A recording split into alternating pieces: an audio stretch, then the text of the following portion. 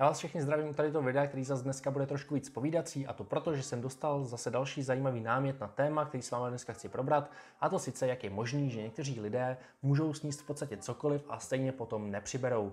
Předpokládám, že asi každý z vás znáte někoho takového, kdo prostě se od rána do večera může spát čímkoliv od pici přes kebab až po čokolády a stejně potom prostě nepřibere. A já pro vás mám v tomto videu připravený dvě možné vysvětlení, proč někteří lidé tímhle svým způsobem můžou fungovat. Co se týče prvního možného vysvětlení, tak to možná některý z vás překvapí a je hodně jednoduchý. A to sice, že někteří lidé jenom vypadají, že můžou sníst cokoliv a nepřiberou, ale ve skutečnosti to tak vůbec být nemusí. Tím chci říct to, že někteří lidé fungují na principu toho, že třeba několik dní v kuse nejí skoro vůbec nic a pak, když jdou třeba ven s přáteli, tak najednou se začnou strašně přejídat a jí toho hrozně moc. A na ty přátele to potom působí tím způsobem, že ten člověk ty bláho jí neuvěřitelné množství kalorií a stejně nepřibírá, jak to dělá. Ale jde vlastně jenom o to, že ten člověk nejí nějakou dobu skoro nic a pak najednou toho sní hrozně moc. Ale když potom zprůměrujeme z dlouhodobějšího hlediska příjem takového člověka, tak prostě není zas až tak vysoký. To vlastně říkám na základě své osobní zkušenosti, protože několik takových lidí ve svém okolí mám a přesně na ostatní působí vždycky tím způsobem, že ty bláho, ty můžeš sníš úplně cokoliv, ale když potom jsme šli a u takových lidí jsme vlastně z dlouhodobějšího hlediska sledovali jejich kalorický příjem, tak jsme zjistili, že ano, tito lidé mají dny, kdy sní opravdu velké množství kalorií, ale potom mají i dny, kdy toho moc nesní a ten celkový dlouhodobější průměr nebyl zas až tak vysoký. Jo, takže když někdo prostě sní jeden den tisíc kalorií, druhý den tisíc kalorií a pak jde ven s kamarádama a sní tam 4000 kalorií, tak na ty kámoše to působí, wow, ty bláho, ty to jíš hrozně moc, jak to děláš ale když potom si ten příjem zprůměrujete za ty tři dny, tak zjistíte, že je to průměrně denně 2000 kalorií, což zas až není tak eh, moc velký číslo. Takže opravdu u některých lidí to prostě může jenom vypadat, že jí hrozně moc jídla, ale ve skutečnosti zas až takový množství jídla jíst nemusí. Co se týče druhého vysvětlení, eh, tak eh, to už je zase trošku něco jiného. A jde o to, že někteří z nás můžou mít víc variabilní metabolismus, víc proměnlivý metabolismus. Pro vás, co třeba úplně nevíte, neorientujete se tolik v hubnutí nebo v nabírání prostě ve výživě, tak když se třeba o někom řekne, že má eh, rychlý metabolismus, tak to vlastně znamená, že takový člověk má vysoký kalorický výdej. Jo? Zase, když se o někom řekne, že má pomalý metabolismus, tak to zase znamená, že má nízký kalorický výdej. To znamená, metabolismus se vlastně rovná kalorický výdej. A náš kalorický výdej, nebo energetický výdej chcete-li, nebo metabolismus chcete-li, tak eh, se skládá z několika komponentů. První komponentou eh, metabolismu je bazální metabolismus, což vlastně vyjadřuje množství energie, které naše tělo spotřebuje na zachování základních životních funkcí. To znamená, to je množství energie, které spálíme prostřednictvím toho, aby naše tělo bylo schopné žít, aby jsme byli schopni dýchat, a zachovat základní životní funkce.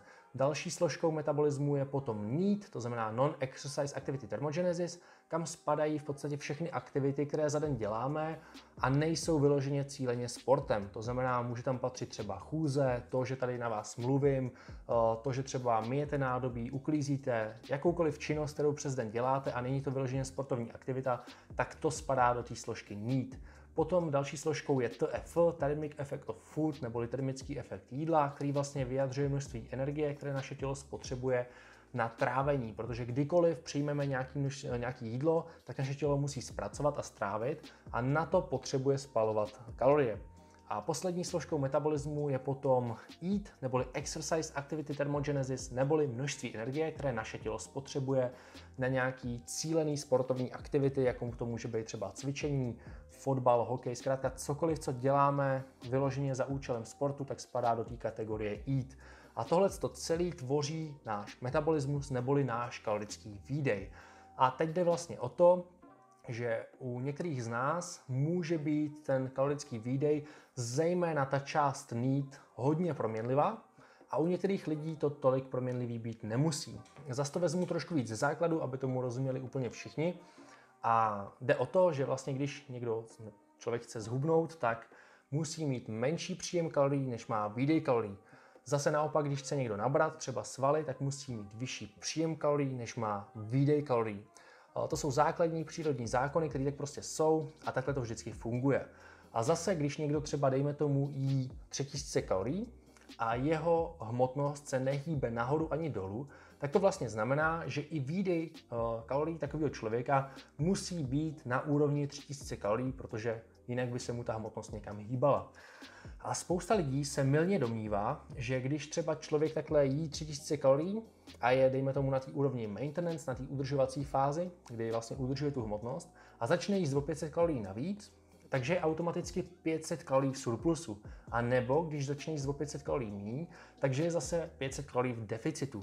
Což tak ale vůbec být nemusí, i když já to taky někdy takhle v videích zjednodušuju, ale nemusí to tak v praxi vůbec být. A to proto, že stejně tak, jako my můžeme navýšit třeba o 500 kalorií náš příjem, tak se může na druhé straně hýbat i náš kalorický výdej. A to ať už chceme vědomě, anebo ale i nevědomě, protože se klidně může stát, že když jíte 3000 kalorií, jo, jste v té udržovací fázi a najednou zvýšíte příjem kalorií o 500, tak stejně tak se může zvýšit i váš kalorický výdej, protože najednou budete mít víc energie a vaše tělo se začne i podvědomě prostě víc hýbat. Zejména prostřednictvím toho nít začnete prostě spalovat větší množství energie, začnete si třeba přes den víc poklepávat nohou, víc budete jako při povídání gestikulovat a najednou toho prostě spálíte víc, třeba o 200 kalorií. A stejně tak se zase může stát, že u některých lidí to může fungovat přesně obráceně, takže když se jim zvýší o 500 kalorií příjem, tak jim klidně může výdej kalorií klesnout třeba o 100, protože ten vyšší příjem kalorií, vyšší příjem jídla je prostě začne unavovat. Najednou se začnou kvůli tomu méně hýbat, budou víc třeba ospalí. No a tím se dostáváme k zajímavé studii z roku 1999, ve které byl 16 neobézním osobám po dobu 8 týdnů navýšen kalorický příjem o 1000 kalorií, což je opravdu velké množství jídla.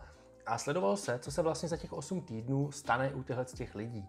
A zjistilo se, že někteří lidé nabrali po těch 8 týdnech 0,36 kg tuku, což je v podstatě skoro nic, když vezmeme to, že měli navýšený příjem kalorií o 1000, zatímco některé jiné osoby v téhle studii nabrali za tuhle tu dobu 4,23 kg tuku, což je jako výrazně víc.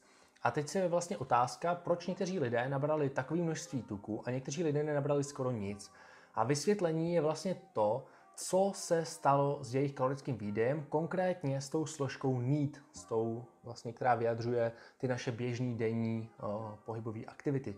Stalo se vlastně to, že navýšení příjmu kalorií o tisíc u některých lidí způsobilo, že jejich NEAT se snížil o 100 kalorií, což byly právě ty osoby, které nabrali nejvíc toho tuku, protože ty byly vystavený vlastně kalorickému surplusu 1100 kalorií, protože o 1000 kalorií začali jíst víc jídla a o 100 se jim ještě snížil jejich výdej. Ale zase u některých jiných osob v této studii se stalo to, že uh, jejich mít se zvýšil skoro o 700 kalorií. To znamená, že ty osoby byly v kalorickém surplusu jenom 300 kalorií, protože sice se jim zvýšil příjem o 1000, ale zároveň se zvýšil i jejich výdej o 700, což byly zase ty osoby, které nenabrali skoro žádný tuk.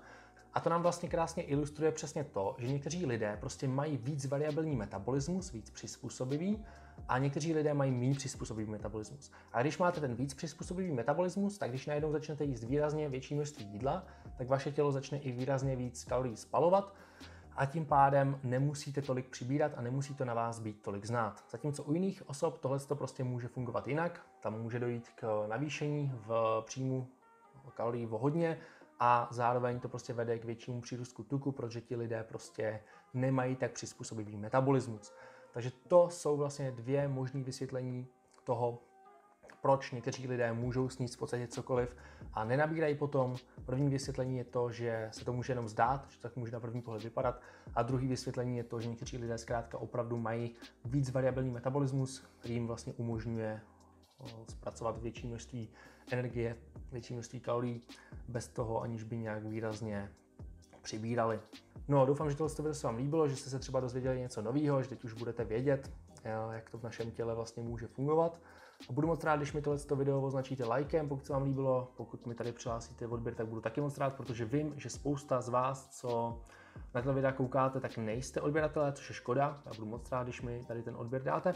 No a taky samozřejmě doplním na závěr i to, že jsem coach, takže kdybyste chtěli makat pod mým vedením, chtěli byste třeba nabírat svaly, hubnout tuk nebo prostě zlepšit svoje zdraví, cokoliv, zlepšit svoji výkonnost, napište mi na ten e-mail a já se vám moc rád budu věnovat, nebo pro bližší informace o spolupráci můžete kouknout klidně na můj web Taky ještě doplním, že na shopu kulturistika.com můžete využít slovový kód PECKA5, tím pádem dostanete 5% slevu na váš nákup a zároveň 5% z toho nákupu podpoříte i mě a tím pádem tady tu moji tvorbu, to, o co se tady s váma snažím. Mějte se krásně, ať se daří, ať to roste a vidíme se zase příště nějakého dalšího videa. Čau.